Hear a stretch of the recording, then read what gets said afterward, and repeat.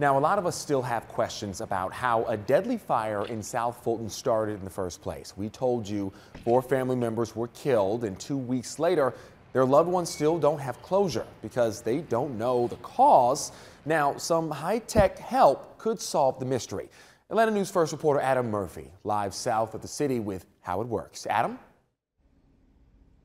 Well, hey there, Alan. You're exactly right. Officials have not determined the cause of this fire, and you can see the damage extensive on this home. It happened here two weeks ago, and as you mentioned, four family members died in it.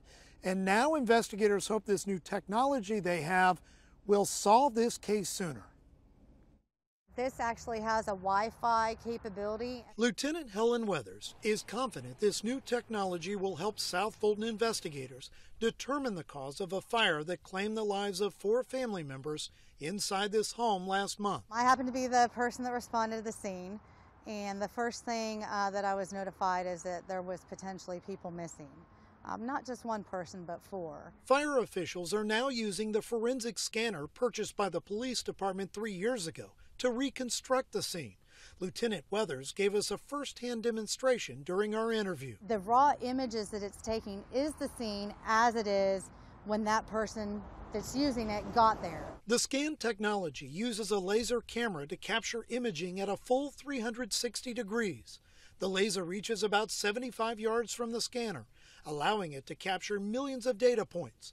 While viewing the resulting scan, investigators are better able to understand burn patterns. The ability to get more accurate measurements um, between items uh, and, and, the better ability is down the road. Say you forgot to do something because you have so much going on at a major incident.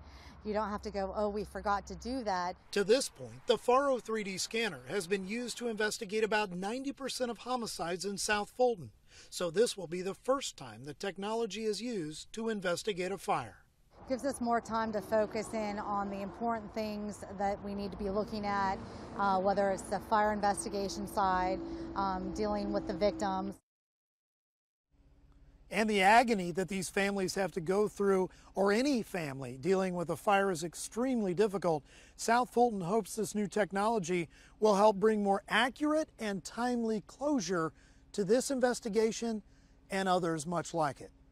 We're live tonight in South Fulton. Adam Murphy, Atlanta News First.